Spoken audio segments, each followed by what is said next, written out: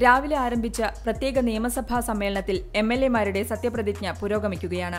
നിയമസഭയിലെത്തിയ അജിത് പവാറിന് വലിയ സ്വീകരണമാണ് പാർട്ടി നേതാക്കൾ നൽകിയത്. താൻ എൻ സി പിയിൽ തന്നെയാണെന്നും ശരത് പവാറാണ് തന്റെ നേതാവെന്നും ബി ജെ പിക്ക് പിന്തുണ പ്രഖ്യാപിച്ച് മറുകണ്ഠം ചാടിയിരുന്ന അജിത് പവാർ പറഞ്ഞു. എൻ സി പി ശിവസേന പാർട്ടികൾക്ക് പതിനഞ്ച് വീതം മന്ത്രിമാരും കോൺഗ്രസിന് പതിമൂന്നും എന്നതാണ് നിലവിലെ സഖ്യധാരണ. ആകെ ഇരുന്നൂറ്റി എൺപത്തെട്ട് സീറ്റുകളുള്ള മഹാരാഷ്ട്രയിൽ ശിവസേന അൻപത്തിയാറ് എൻ സി പി അൻപത്തിനാല് കോൺഗ്രസ് നാൽപ്പത്തിനാല് എന്ന ക്രമത്തിൽ നൂറ്റി അൻപത്തിനാല് പേരുടെയും സ്വതന്ത്രരുടെയും പിന്തുണയോടുകൂടിയാണ് ത്രികക്ഷി സഖ്യം അധികാരത്തിലേക്ക് എത്തുന്നത്.